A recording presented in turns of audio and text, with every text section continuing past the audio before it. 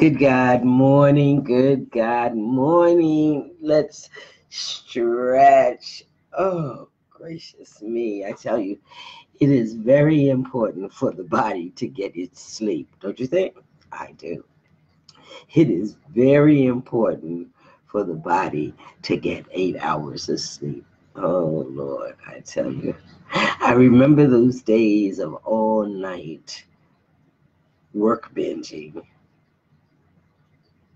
when I became sober and uh, focused in on doing my business, you know, creating websites and learning lessons and being in school, being able to stay all up all night, motivated to do what I desired to get done for that day or that hour.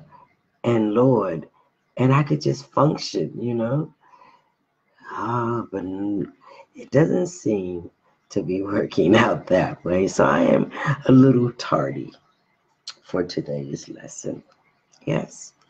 Usually I come in at 6:30 every morning and uh except for Sunday. Sunday I don't do the morning feed because you're in contact or I am in contact with spirit with community in such a fashion on Sundays. You know, I'm in church and uh, with a group group of people, and it's a day of rest, or it should be a day of rest, a day of intentional communication. And so it's Saturday for some people.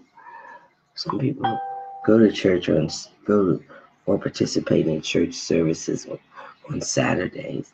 Hey, how are you, Brian? I've been looking at you, brother. How you like your mother's uh, book? Your mother's passed, or did she give you those books to read? Are you learning a lot about your mother and who she is or was? I wish my mom had had the fortitude to do something like that. Mm. Journaling. Journaling is important and it leaves a message to everyone in your family, just as being live does. Oh, she let you. Really? She had nothing to hide, huh? Are you enjoying it? Is it giving you a good insight, Brian? I know it is. You probably may see some things or emotions that may be kind of the same. I think people go through pretty much the same kind of experiences as we grow up. They just happen to be in a different setting. So enjoy your mother's life. That's amazing. Tell the truth and shame the devil. If I believed in the devil, you know, I believe that the devil is your mind. You know, your mind is the part that misleads you, misguides you. It doesn't always tell you the truth because it's ego based. It's I, I, I based. So everything that you hear or see is never the real truth with a capital T. Hi, Howard. How are you?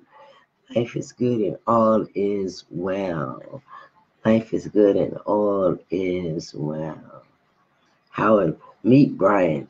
Brian is a Facebook friend of mine. Howard is an alumni and a cousin. yes, because he has my grandmom's last name. So we got to be connected in some form of, of, um, of uh, some kind of way along the line. We're all connected. We're all cousins, you know. If the truth be told, we all come from the same bone and because we are God's children. That keeps us connected. Good morning, Cornell. How are you? I have got to touch base with you. Um, life is amazing it is more than uh, It's more than amazing. Sometimes I think there is no word to express how I feel about life today. Oh God, there is no way. Yes, right. I love it. God is with me everywhere I go. Yes, yes, yes. Oh, I, you know, I there is nothing wrong with the world. Nothing. And perception is how I see the world. And it doesn't necessarily mean that that's the truth. There's a bigger truth beyond everything. And so today we're going to kind of re- we are reviewing. We're in the review mode of the lessons in a course of miracles, and of course, a course in miracles um, can bring up some angst and anxieties of things that you really are not sure of. You still have a question about them, but in reality, there is no question. You know, you I, I, I must ask to see the truth. I must believe that everything I see is not so. No matter how good or bad I might see it as, you know. I'm sure folks had all kinds of had had all kinds of anxieties about the great misconceptions of the world, the great hypocrisies, the tragic death of deaths of people and community. We get angry about all of that, about the slavery situation, about the um, Holocaust, about the Indians, about all these people. But there's a truth that lies behind that truth. And we don't judge. And the lessons in Course in Miracles teaches me to keep a level head about the things that I think, the things that I say, how I react to the world.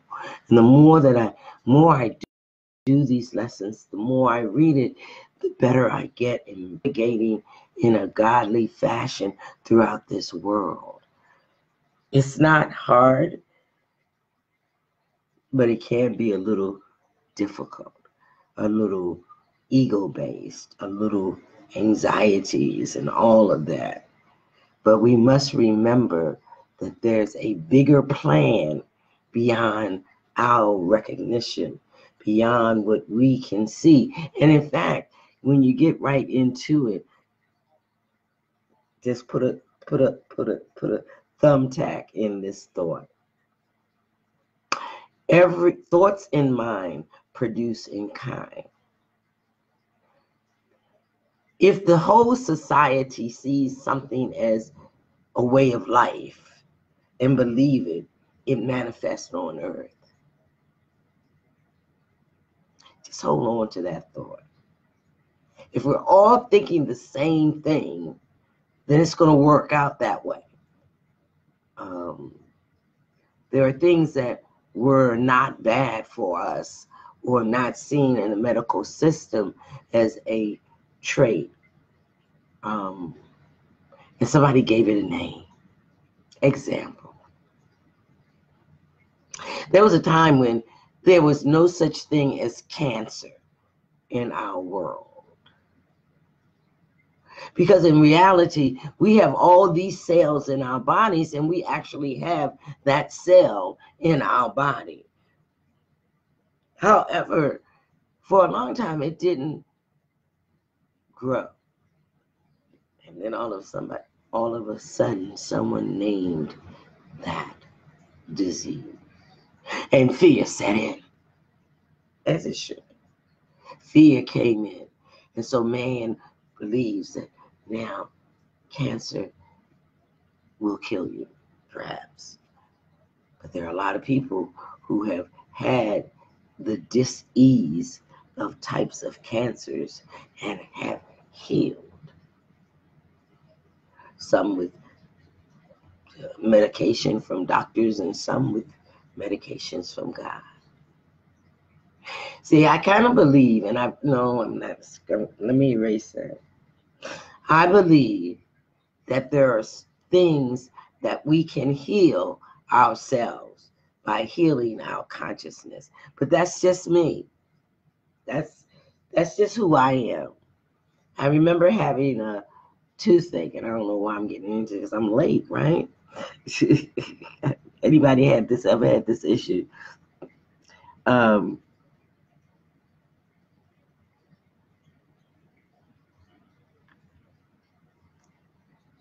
Denise.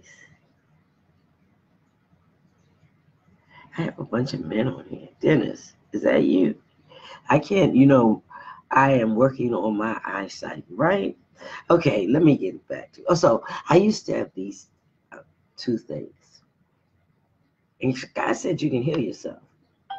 That He'll be your doctor. And I used to put my hand on my chin, and I said, you know what, God, you said that you are my healer. Take this pain away. You know what I got to do? I got to talk. I got to teach. I got to do it. And a few, I don't know, the pain would just go away.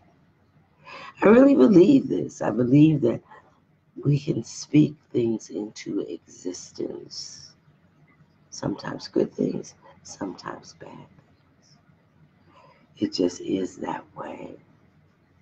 So I, um, you know, God is amazing. I, spirit that fills me sometimes breaks me down to tears of happiness. In my darkest hour, I am reminded in some form or fashion how powerful the Spirit is. So anyway, that's just me and that's my experiences today. I, I guess I was always someone told me, I remember meeting this guy that I was a medicine root woman.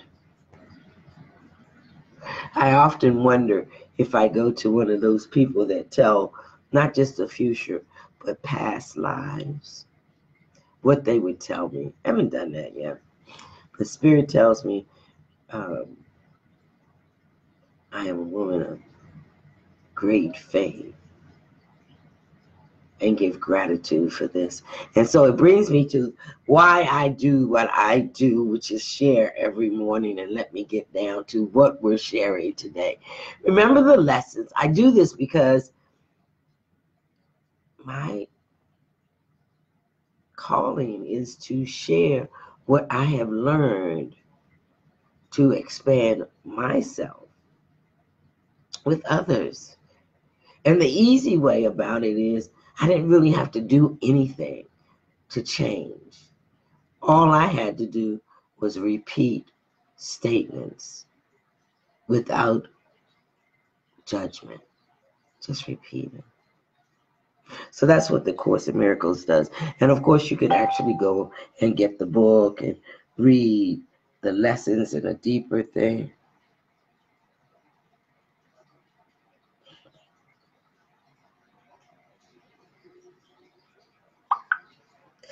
Yes. So um, let's go on. And I want to thank everyone for joining. I want to thank everyone for sharing this. Someone in your circle may need to understand or need comfort. Because when I say these things, they comfort me. They keep me going. So let's go. Too much, too much conversation. Right? So I think. Okay, so lessons we're studying today are lessons 6 through 10. Remember, there are 365 of these lessons, and we've only gone through the first 50. So, first lesson close your eyes as I repeat this. I am upset because I see what is not there. I am upset because I see what is not there. I am upset because what I see is not there. Reality is never frightening. It is impossible that it could upset me. It is impossible that it could upset me. Reality brings only perfect peace. When I am upset, it is because I have replaced reality with illusions. I made it up. The illusions are upsetting me because I have given them reality and thus regard reality as an illusion. Nothing in God's creation is affected by any way by the confusion of the mind. I am always upset by nothing.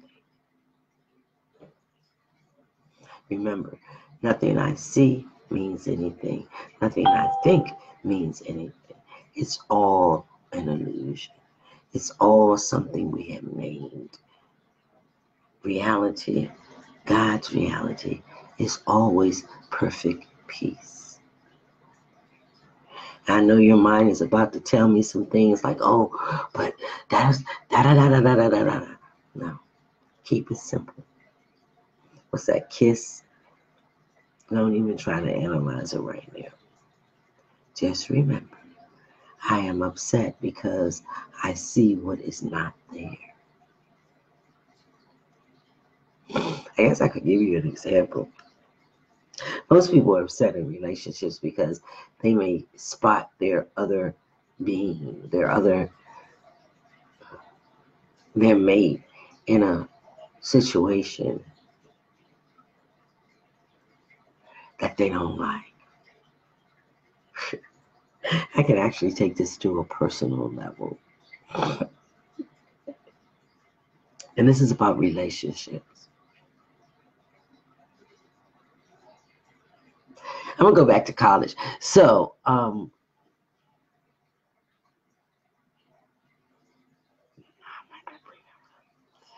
you know, jealousy is a, an evil thing. Jealousy is a thing that will hurt you. Being in love can be painful at times, but that's an illusion because love has no pain. It's the what this idea that we want to have what we have, and you cannot possess another person. Period. You can't. There's nothing I can do with or to another person because it's all about me. So you're walking down the street, and I was walking down the street, and my boyfriend was eating lunch with this beautiful woman. They're holding hands. And I immediately get into an outrage. What I see, I am upset because I see what is not there. What I see in my mind is he's with another woman. She's they're sleeping together, they're hanging out together, they're in love. What I see I'm upset because I see what is not there. There's no sign saying, oh, they're lovers. However, their actions in my mind say they are.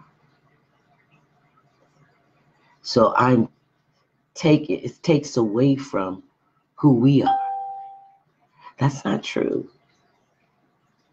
Love is one of those things that is so huge. The idea is when others lose or choose to disrespect each other.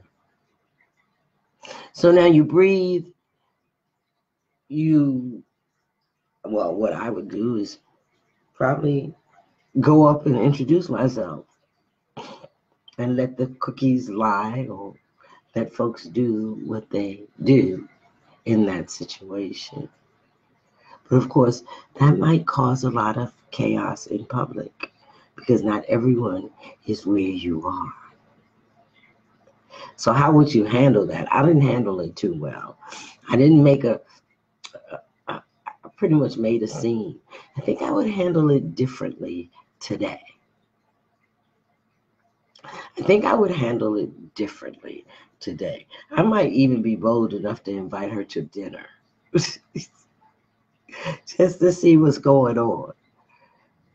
Because if you can handle two women or I can handle two men, I must be a bad person. I mean, and I don't mean bad as an attitude. I mean um, free enough to share love without hurting others. That's kind of difficult. That's kind of different, difficult to um, do that. Or it may be a little trying, but it can be done. You have people that are in all kinds of relationships, and some of them work well. But anyway, remember, I am upset because I see what is not there. I see what is not there.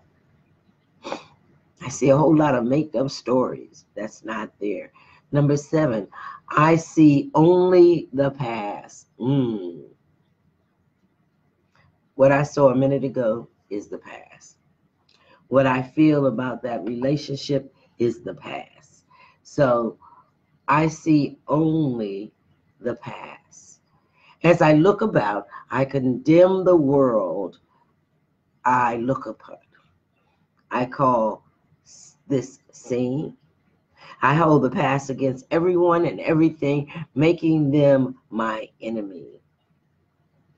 When I have forgiven myself and remembered who I am, I will bless everyone and everything I see. There will be no ups, no past, and therefore no enemies. And I will look with love at all that I to see before. Like my story. All of that is in the past. And when you start thinking about things of how you, when you're presented with a situation, your feelings from past situations will come up and attach themselves to what's happening right now, if you allow it. If you allow it. I know when I was being coached and learning uh, um, in life coach in my life coaching class, the question would always be, when do do when can can you when can you remember the first time you felt like this in your life? What experience that you went through gave you this feeling. That's, I see only the past. I bring up emotions from the past, past experience. And if I realize who I am, a new day, a new person, learning new things, giving God strength and power and surrendering to his love of everything and everybody, I can give it up. I can live in peace. I can express love in every situation. Again, I bring up Iyanla's book, Get Over It. I love that book. I love that book. As I do uh, forgiving everything, everybody for everything. Forgiveness book. The Course in the Miracles is an amazing lesson that must take practice, must take saying these these statements with conviction. We have I desire to be and show who I really am, the daughter, the son of God the image and likeness of God, the being of God, living in peace and love and harmony. And all it takes is confirming and affirming these statements over and over again. When I am in a situation where God needs to take over, I must surrender by saying these statements. So, statement number nine at eight my mind is preoccupied with past thoughts. I see only my thoughts, and my mind is preoccupied with the past. Can you get with that? What then can I see as it is? What then can I see as it is? That's a heavy question. Let me remember that I look up on the past to prevent the present from dawning on my mind. Oh, that's a heavy statement. I'm keeping it from me. I stay in the past because I do not desire enlightenment. I do not want to truly see that subconscious still wants to hold on. Let me understand that I am trying to use time against God. Time doesn't mean anything. Let me learn to give the past away. Realize that in so doing, I am giving up nothing. Not a thing. That almost makes my heart get overwhelmed. I do not want to, to be preoccupied with past thoughts and past emotions. It's done. Let it go. Enjoy life. God is so amazing. God is so amazing. Ooh, we're running time. We're running time. And we're just on number eight. Number nine, I see nothing as it is now. I really don't see the present. Didn't we just say the mind is preoccupied with past thoughts, past situations? If I see nothing as it as it is now, it can truly be said that I see nothing. I can see only what is now. The choice is not whether to see the past or the present. The choice is merely whether it to see or not to see. No distinction between past and present. It's a distinction of whether I want to